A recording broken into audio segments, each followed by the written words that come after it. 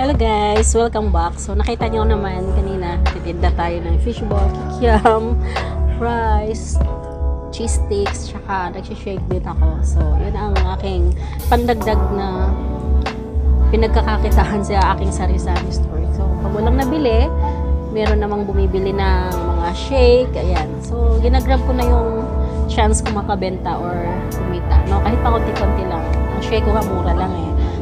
Kasi ano lang naman, hindi ako, muna hindi ako nangungupahan, wala akong taong pinapasahod. So, kahit pa paano parang importante, makabenta ako tsaka kumita ng kahit konti, di ba? So, pandagdag. Kaya yun ang araw-araw kong gagawin.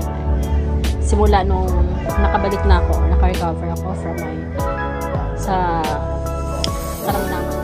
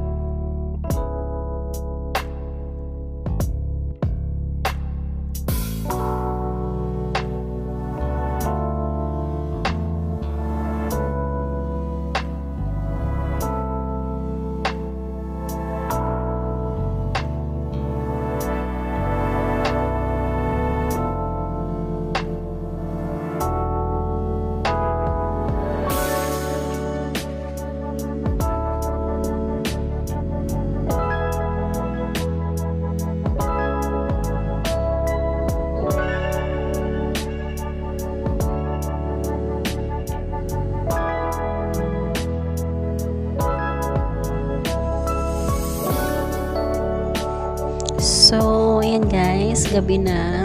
Medyo maaga ako magsara ngayon kasi ah, kanina medyo napagod ako kahit pa paano nakabenta na rin naman. Magpahinga na muna ako kasi sumakit ang ulo ko guys. So, ayan po. Kailangan pahinga-hinga din. Ayan. So, yan na lang po ang aking mga paninda no. So, walang nagbabago. Same pa rin, kukunti ang laman. So, ayan yung aking Lotto outlet. Ayan. So, nagkukumpit na yung anak ko ang buong sales ngayong gabi.